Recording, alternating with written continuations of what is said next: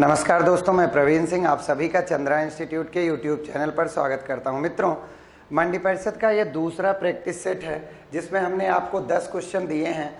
एक बार आप इन दसों क्वेश्चन को ध्यान से देख लें, फिर हम इसको सॉल्व कराते हैं। लॉन्ग, शार्ट, ट्रिक, सारी चीज़ें बताते हैं। एक बार आप सारे क्वेश्चन पर निगाह दौड़ा लीजिए। सारे क्वेश्चन देख लें, जैसे पहला क्वेश्चन, दूसरा, तीसरा, चौथा, पाँचवा, और इधर मैंने दे रखे हैं छः सात, आठ, नौ और दस। दस क्वेश्चन दिए और सभी बहुत ही इंपॉर्टेंट हैं आपके एग्ज़ाम की दृष्टि से। ठीक है दोस्तों? तो आइए हम लोग शुरू करते हैं पहला क्वेश्चन देखिए दोस्तों, मैंने पहला क्वेश्चन दिया है, एक व्यक्ति 200 किलोमीटर की दूरी एक निश्चित चाल से तय करता है या चलता है। यदि वह अपनी चाल को पाँच किलोमीटर प्रति घंटा बढ़ा दे तो समय में दो घंटे की कमी आ जाती है। वास्तविक चाल ज्ञात कीजिए। तो मित्रों, इसके लिए पहले हम मानेंगे वास्तविक चाल यक्स है, वृद्धि वाली चाल है यक्स प्लस फाइव तो बहुत टाइम लग जाएगा। तो इसके लिए एक छोटा सा मैंने रूल क्रिएट किया। यहाँ पर आप सॉल्यूशन देखिए, पहले क्वेश्चन का, कि अगर ऐसा है वृद्धि और कमी से रिलेटेड क्वेश्चन तो आपको कुछ नहीं करना है। डी एक्स अपान टी का ऐसा फैक्टर करना है, ऐसा गुणनखंड करना है, ऐसा गुणनखंड करना है कि इनके बीच का डिफरेंस अंतर जितना भी रहे, जैसे इसमें है पाँच किलोमीटर तो पाँच के बराबर, अंतर वृद्धि ऑब्लिक कमी के बराबर हो। देखिए अभी आप यही क्वेश्चन अपने बुक में देखें तो बहुत टाइम आपको लगेगा। इससे तुरंत हो जाएगा। 10 सेकंड से ज़्यादा नहीं लगेंगे। देखिए ध्यान से। डी एक्स अपान टी को ऐसे दो पार्ट में बांटना है कि इनके जो अंतर रहे दोनों पार्ट का, वो वृद्धि अथवा कमी के बराबर हो। तो इस प्रश्न में डी मतलब डिस्टेंस दूरी 200 एक्स का मतलब होने वाली वृद्धि कितनी? पाँच और बटे समय में बचत दो हो गया। तो दोस्तों, अगर हम इससे इसको विभाजित कर दें तो ये हमारा आ गया 500 अब मेरी बात ध्यान से सुनिएगा। इस रूल का प्रयोग करने के लिए ध्यान दीजिएगा। dx ऐसा गुणनखंड की अंतर वृद्धि अथवा कमी। प्रश्न में कहा है, पाँच किलोमीटर प्रति घंटा तो ऐसे दो पार्ट में तोड़िए कि अंतर जो है वो पाँच के बराबर हो। तो दोस्तों, आप जानते हैं बीस और पच्चीस। देखिए गुड़ा ये पच्चीस दुना पचास, पाँच सौ आ गया। मित्रों, ये जो आया, ये इसकी वास्तविक चाल है। अब आपके दिमाग में चल रहा होगा कि कैसे वास्तविक चाल है, ये भी तो हो सकता है। तो नहीं दोस्त, इसमें एक वास्तविक चाल होता है, एक वृद्धि अथवा कमी के बाद। तो यहाँ वृद्धि थी, ये उसकी वास्तविक चाल है 20 किलोमीटर प्रति घंटा और ये उसकी चाल है वृद्धि के बाद। कितनी? 25 किलोमीटर प्रति घंटा।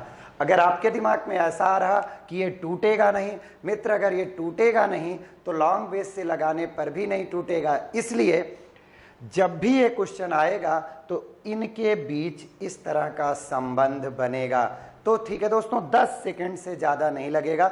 ऐसे कई बार आए हैं तो इन्हें आप दिमाग में रखिएगा। आइए, हम लोग दूसरे क्वेश्चन की तरफ़ चलते हैं। पहला हो गया कंप्लीट दूसरा, इसे मिटा देते हैं।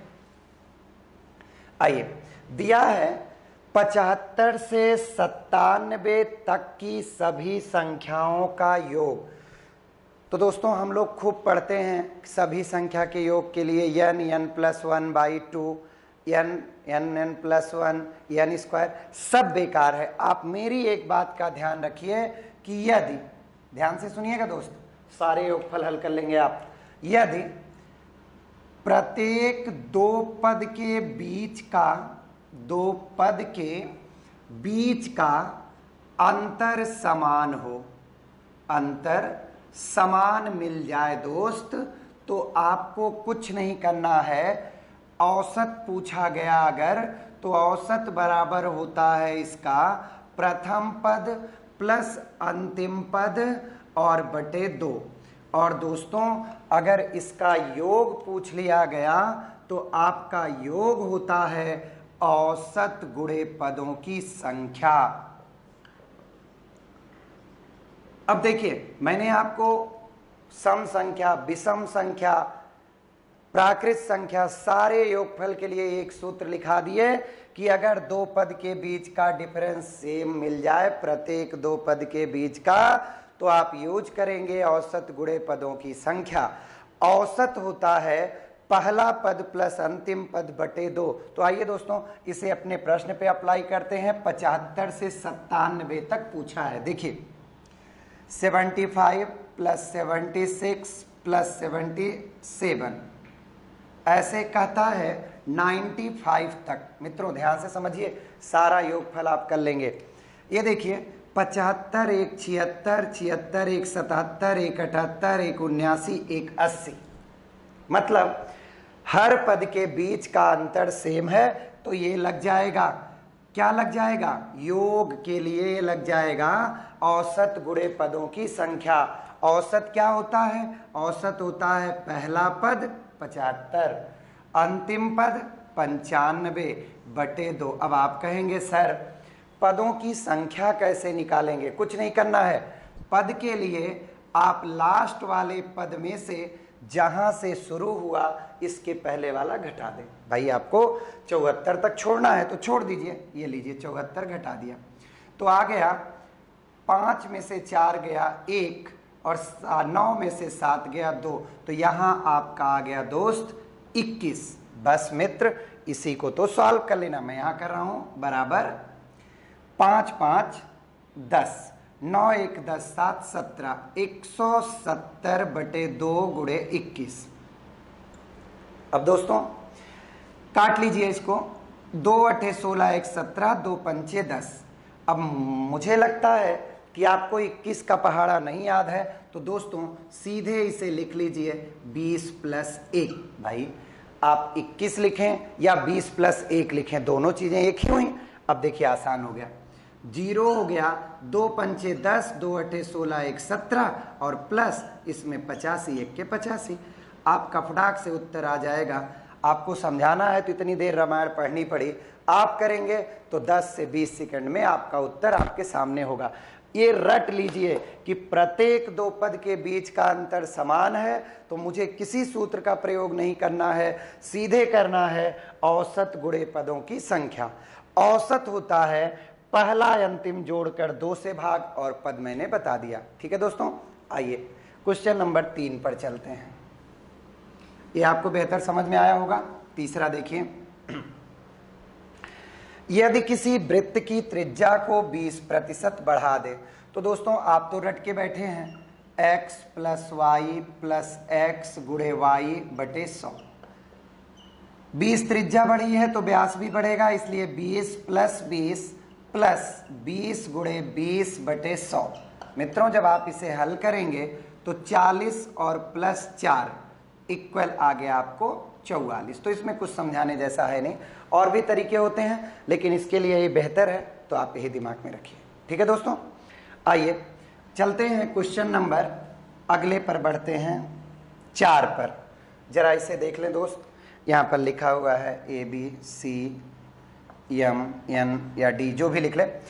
ये बना हुआ है, आपसे कहा गया है कि x की वैल्यू पुट आउट करनी है, कि x की वैल्यू क्या होगी। मित्रों यदि आपके दिमाग में हो तो आपको याद होना चाहिए कि सरल रेखा पर बनने वाला कोण 180 डिग्री का होता है। 180 अंश का होता है।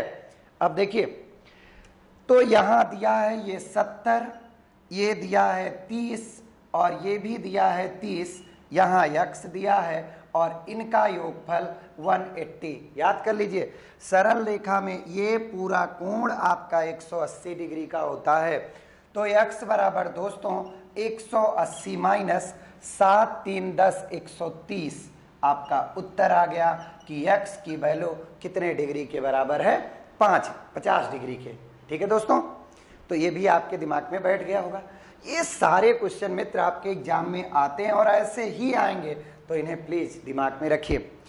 अब दोस्तों, हम लोग देखते हैं क्वेश्चन नंबर पाँच। दिया है दोस्तों दो संख्याओं का अनुपात, दो अनुपात तीन है, इनका मासा बारह है तो संख्या ज्ञात कीजिए। दोस्त, याद कर लीजिए, अनुपात देकर संख्या दिया हो तो सीधे अनुपात को मासा से गुणा कर दीजिए, आपको संख्या मिल जाएगा मेरे भाई। तो आपकी पहली संख्या 24 है और दूसरी संख्या 36 है। देखिए कितना आसान सा क्वेश्चन है, ठीक है? आइए, आगे चलते हैं। अगला क्वेश्चन है। एक बार निगाह दौड़ा लें। क्वेश्चन नंबर सिक्स पाँच क्रमागत विषम संख्याएँ ए बी सी डी और ई e हैं। पाँच क्रमागत विषम संख्याएँ ए बी सी डी और ई e हैं तो इनका औसत अब आपके दिमाग में चल रहा होगा। A plus B plus C plus D plus E by five नहीं दोस्तों, ध्यान से देखिए। अगर मैं कहूँ कि मित्र, आपको अगली विषम संख्या फाइंड आउट करनी है तो कैसे करते हैं? आप पिछली विषम संख्या में दो ऐड कर देते हैं। यही करते हैं दोस्तों। याद कर लीजिए, जैसे मैं बात करूँ, पहली विषम संख्या एक है तो दूसरी कितनी होगी? तो आप क्या करते हैं? एक में दो जोड़ देते हैं, तीन आ गया। अगली कौन सी होगी? पाँच। अगली कौन सी होगी? सात। तो उसी प्रकार दोस्तों ए की वैल्यू तो ए होगी, लेकिन क्रमागत मतलब अगली विषम संख्या ए प्लस टू होगी। अगली विषम संख्या ए प्लस फोर होगी, अगली विषम संख्या ए प्लस सिक्स होगी, और अगली विषम संख्या ए प्लस एट होगी। अब दोस्तों, औसत बराबर होता है सारे का योग बटे पदों की संख्या। या औसत मतलब समांतर, माध्य के समान मतलब बीच वाला पद तो यही आपका क्या हो जाएगा? दो नीचे, दो ऊपर तो इसका औसत मान क्या आ जाएगा? ये आ जाएगा ए प्लस फोर आप चाहें तो पूरा कर लें, जोड़ करके तब भी आपको उत्तर यही मिलेगा। ठीक है दोस्तों? आइए। अगला पे क्वेश्चन पे चलते हैं। मित्रों, अगला देखिए क्या दिया है। आपको दिया है A plus B ratio B plus C A plus B ratio B plus C A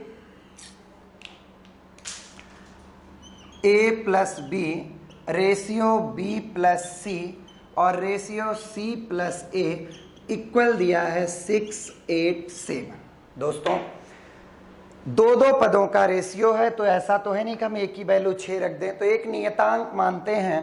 तो दोस्त, a प्लस बी बराबर हो गया सिक्स के, नियतांक के के रूप में मान लीजिए तो ये हो गया b प्लस सी इक्वल हो गया एट के और c प्लस ए इक्वल हो गया सेवन के इन्हें हम ऐड कर लेते हैं। तो ये क्या होगा? Two A two B two C बराबर कितना? इक्कीस। आठ छ चौदह, सात, इक्कीस। इनमें दो कॉमन ले लीजिए, या पहले हम इसको इधर लिख लेते हैं। इक्कीस के बराबर टू कॉमन हो गया A plus B plus C. तो ये इक्कीस के बराबर दो, और दोस्तों, इसका मान दिया है A plus B plus C बराबर चौदह। तो यहाँ आप चौदह रख दीजिए। इक्कीस के बराबर चौदह दुनी अट्ठाईस तो के बराबर अट्ठाईस बटे इक्कीस। सात चौक अट्ठाईस, सात त्रिक इक्कीस। कितना आ गया? ये आपका आ गया चार बटे तीन। और दोस्तों A plus B plus C बराबर चौदह दिया है। आपसे सी का मान पूछा। अगर मुझे ए बी मिल जाए तो सी खुद ब खुद निकल आएगा। और ए बी यहाँ मिल रहा है सिक्स के तो सिक्स इंटू के की वैल्यू फोर बाई थ्री तो ये तीन दुनाई छ और चार दुनाई आठ। सही है? ये आठ प्लस सी बराबर चौदह तो केवल सी बराबर चौदह माइनस आठ इक्वल किसके? छ के। अब मित्रों, आप जानते हैं कि ये क्वेश्चन रेशियो का बेसिक क्वेश्चन है तो इनकी ट्रिकें नहीं। इन्हें सॉल्व करना होता है। ये आपके एग्ज़ाम में आया हुआ है, इस तरीके का, ये क्वेश्चन नहीं, इस तरीके का। इसलिए मैंने इस पे आपको बताया। इसे ध्यान से देखिएगा और बढ़िया से तैयार कर लीजिएगा, ऐसे क्वेश्चन बार बार आते हैं। ठीक है दोस्तों? अब हम लोग क्वेश्चन नंबर अगले पे चलते हैं। देखने में बहुत ही आसान सा क्वेश्चन लग रहा है कि एकदम आसान है, लेकिन करिए। दिया है। नाइन नाइन नाइन और two nine nine nine into nine. दोस्तों, हम क्या करते हैं? इसको इसमें गुड़ा करके जोड़ते हैं। नहीं नहीं नहीं, इसको सीधे लिख लीजिए। Nine nine nine plus two by nine nine nine. और इसको मल्टीप्लाई कर दीजिए। किससे? ट्रिपल नाइन से। क्या होगा मेरे भाइयों? इसका मतलब नौ सौ निन्यानवे गुड़े नौ सौ निन्यानवे प्लस इसका इसमें गुड़ा दो बटे नौ सौ निन्यानवे गुड़े नौ सौ निन्यानवे। कैंसिल हो गया। दोस्तों, नौ सौ निन्यानवे का पहाड़ा आपको नहीं याद है तो हम इसे एक हज़ार माइनस एक लिख सकते हैं। ध्यान से देखिए। इतना गुड़े इतना। वितरण नियम इसे कहते हैं मैंने लिख दिया एक हज़ार माइनस एक। अब आप कर सकते हैं, इसका इसमें गुड़ा करेंगे ट्रिपल नाइन आगे ट्रिपल ज़ीरो और एक में करेंगे तो ट्रिपल नाइन और टू और है। नौ में दो जोड़ेंगे, ग्यारह, नौ एक हो गया दस, नौ एक हो गया दस, नौ एक हो गया दस दस और दस। तो मित्रों, इसको अगर सॉल्व करें तो आपका कितना आएगा? लिखा गया है, ठीक है? अब देखिए इन सब चीज़ों को आपको बेहतरीन ढंग से आना चाहिए, कहीं गलत ना होने पाए जिससे। अब देखिए, यहाँ आपको माइनस करना है तो यहाँ माइनस करिए, और इसको जोड़ना है तो जोड़िए। तो देखिए, कितना आ जाएगा? ये जोड़ना है। अगर मैं, इसको देखिए, मैं ऐसे लिख दे रहा हूँ, माइनस नाइन नाइन नाइन और प्लस टू तो ये इसमें जुड़ेगा तो कितना आएगा? One two three zero zero two और इसमें से ट्रिपल नाइन घटाना है। ये आपका उत्तर आएगा। यही तो ध्यान देना है। माइनस घटेगा और प्लस जुड़ेगा। ये देखिए, बारह में से नौ गया, तीन आया। सही है? यहाँ नौ में से गया ज़ीरो, नौ में से गया ज़ीरो। यहाँ आठ बचा और ये आया। तो इसका उत्तर ये होगा। ठीक है? अब देखिए, हम लोग अगले क्वेश्चन पर चलते हैं। ध्यान रखिएगा माइनस प्लस का। मैंने जानबूझकर वहाँ किया कि आप पकड़ते हैं या नहीं। अगला देखिए। दिया है, एक परीक्षा में दो परीक्षार्थी ने भाग लिया। पहले को 20 प्रतिशत और वो 60 नंबर से फेल हो गया। दूसरे को 30 प्रतिशत मिला, जिसका 60 नंबर अधिक था। कुछ नहीं मित्र, एकदम सिंपल है। आइए हम लोग इधर सॉल्व करते हैं इसको। दिया है पहला वाला 20 प्रतिशत पाया और दूसरा वाला 30 एकदम सिंपल तरीका है ये। ये जो है 60 नंबर फेल। फेल का मतलब कम और इसका 60 नंबर ज़्यादा। अब दोस्तों, हमें इनका अंतर ज्ञात करना है। तो 30 और 20 का अंतर 10 आ गया, इक्वल इसका अंतर आ गया 120 अब आपके दिमाग में चल रहा होगा, कह रहे हैं अंतर और जोड़ दे रहे हैं। नहीं दोस्त, देखिए ऐसे है। मैंने कहा, आप इतना नंबर पाएँगे तो पास होंगे। ठीक है? अब आप 60 नंबर से फेल हो गए और मेरा 60 नंबर ज़्यादा है। तो मेरे और आपके बीच की डिस्टेंस कितनी हो गई? पहले तो आप 60 पाइए, तब आप पास होंगे। मेरे पास आना है तो 60 और, अर्थात आपको पाना होगा 120 लेकिन अगर आप भी फेल होते, मैं भी फेल होता तो अंतर क्या होता? घट जाता। ठीक? समझ लिया? आइए यहाँ पे मैं लिख भी देता हूँ जिससे आपको तकलीफ़ ना हो। अगर दोनों पास पास है तो माइनस। अगर दोनों फेल फेल है तो भी माइनस। लेकिन अगर एक पास है और एक फेल है तो क्या? प्लस। ठीक है दोस्तों? अब 10 परसेंट और ये आपस में बराबर है। क्यों बराबर? भाई, इनके बीच प्राप्तांक का परसेंट है 10 परसेंट। और यहाँ नंबर में 120 अब दोस्तों, एक परसेंट, देखिए कितना आसान हो गया। दस, आपको पूर्णांक चाहिए। अब आपकी कैलकुलेशन बेहतर है तो ये सब आप नहीं लिखेंगे। डायरेक्ट आप लिखेंगे कि इसका पूर्णांक है 1200 अंक। लिखेंगे ना मित्रों? तुरंत लिखेंगे 1200 क्योंकि ये सब लिखा थोड़े जाएगा, ये जो इतना राम गाथा लिखी है। ये तो आप मुझे नहीं कर देंगे। लेकिन आपसे पूछा है उत्तीर्णांक। पूर्णांक पूछा होता तो यही नंबर हो जाता कि पेपर 1200 नंबर में हो रहा था। लेकिन उसने उत्तरीणांक पूछा, उसके लिए 1200 नंबर का पेपर हो रहा था, गुड़े। चाहे इनको ले लीजिए, चाहे इनको जिसकी मर्ज़ी हो। मैं इसको लेता हूँ। ये भाई साहब 20 प्रतिशत पाए। 20 प्रतिशत का मतलब 240 नंबर पाए। मुँह फुलाए, अपने घर आए, हम फेल हो गए। कितने नंबर से? घर वालों ने पूछा, फेल हो गए? ठीक है कई नंबर से फेल हुए? आसपास हो कि दूर हो। इन्होंने बताया कि मैं 60 नंबर से फेल हो गया।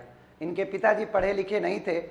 उन्होंने कहा कि, मुझे ये मत बताओ, मुझे ये बताओ कि कई नंबर पाते तो आप पास हो जाते। इन्होंने कहा, मैं 240 पाया हूँ और 60 से फेल हूँ। अर्थात, अगर मैं 300 नंबर पाता तो क्या हो जाता? पास हो जाता है यही पूछा है। आपके दिमाग में चल रहा होगा, मित्र 30 परसेंट लें तो नहीं आएगा। आएगा दोस्त 1200 का 30 परसेंट हो गया 360 और ये 60 नंबर ज़्यादा है तो जहाँ यहाँ जोड़ रहे हैं, वहाँ उसको घटा देंगे। ठीक है? ऐसे क्वेश्चन काफ़ी बार आते हैं, इन्हें दिमाग में रखिएगा। अब यही कभी कभी पूछ लेता है उत्तीर्णांक प्रतिशत। तो कुछ नहीं दोस्तों उत्तीर्णांक प्रतिशत अगर पूछा, यदि पूछा गया, मैंने नहीं पूछा है। तो उत्तीर्णांक जितना नंबर पाए हैं मतलब पास होने के लिए जितना चाहिए, बटे जितने नंबर का पेपर है और गुड़े सौ तो ये कितना हो जाएगा? इससे भाग दे देंगे। हमारा उत्तर आ जाएगा। या सीधे सीधे देखो, भाग देना है तो ऐसे दे दो। तीन चौक बारह और चार से काटेंगे तो ये महोदय कितना परसेंट पाते तो पास हो जाते, पच्चीस परसेंट अब देखिए, एक क्वेश्चन और बहुत दमदार क्वेश्चन है। समझने की बात है, आप समझें। तो बहुत अच्छा क्वेश्चन है और बहुत आराम से इसको मैं बताता हूँ। दिया है, एक पुस्तक विक्रेता था और 2000 प्रतियाँ छपवाई। मतलब 2000 किताब उसने बनवाई तो उसका टोटल लागत आया सत्तर हज़ार। दोस्तों, ध्यान से देखिएगा, सत्तर हज़ार में बीस हज़ार किताब बनकर तैयार हुई। और मित्रों, चार सौ किताब मुफ़्त में बंटवा दिया। भाई, प्रचार होगा तभी तो किताब बिकेगी। अब हमारे पास किताब बची हैं सोलह सौ प्रतियाँ। और इनका हमें विक्रय चाहिए दोस्तों। चलिए विक्रय निकालते हैं। शर्त थी, पुस्तक पर लिखा गया मूल्य, जिसे कहते हैं छपा मूल्य, वो था पचहत्तर रुपया। और इस पुस्तक को बेचना था 20 परसेंट छूट देके। तो या तो पचहत्तर का 20 परसेंट लेके हम निकाल दें, या तो 20 परसेंट कमी का मतलब 80 बटे सौ। दोस्तों, देखिएगा ध्यान से। पच्चीस तिया पचहत्तर, पच्चीस चौक का सौ। आप जब इसको करेंगे 30 परसेंट है 20 नहीं है, सॉरी 30 परसेंट तो ये हो जाएगा 70 तो 25 तिया पचहत्तर, पच्चीस चौक का सौ ये आ गया सात इक्कीस, दो सौ दस बटे चार। में भाग दे देता हूँ, दोस्त। चार पंचे बीस, एक इक्कीस, दस। चार दुनाई आठ और चार पंचे बीस। अर्थात किताब पर लिखा है पचहत्तर रुपया, लेकिन एक किताब बेचनी है बावन रुपए पचास पैसे की। तो सोलह सौ किताब कितने में बेचेगा? एक किताब बावन रुपया पचास पैसा का तो सोलह किताब आप गुड़ा कर दें तो ये कितना आ जाएगा? देखिए, मैं कर देता हूँ। ये दो ज़ीरो, इसके हट गए दशमलव में चले गए। सोलह पंचे अस्सी, सोलह दुनाई बत्तीस, आठ चालीस, सोलह पंचे अस्सी, और ये हो गया, और चार चौरासी। तो कितना हो गया? चौरासी हज़ार। ये कितना था? सत्तर हज़ार। खरीदा कितने में? सत्तर हज़ार में। बेचा कितने में? चौरासी हज़ार में।